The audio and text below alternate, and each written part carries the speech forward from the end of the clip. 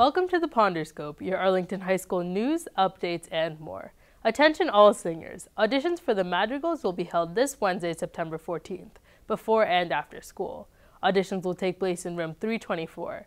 Please see Mrs. Kitchen for audition form and music. There will be a practice session for this music, music on Tuesday, September 13th during X Block. Good luck to everyone who tries out. Auditions for A Christmas Carol, presented by the AHS Drama Guild, will be held on Thursday, September 17th and Friday, September 18th.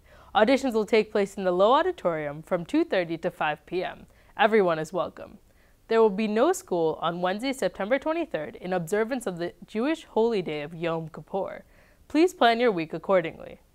This year, AHS has implemented a period in the schedule called X Block. This is a 24 minute block that takes place on Tuesdays and Thursdays.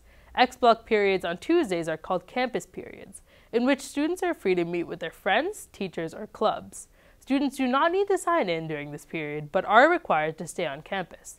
Thursday X block periods are advisory periods, where students must report to their homeroom and take part in an advisory activity. The X block committee expects these new and improved activities will be more engaging than in previous years. I'm Gayatri Sundarajan, and this has been the Ponderscope.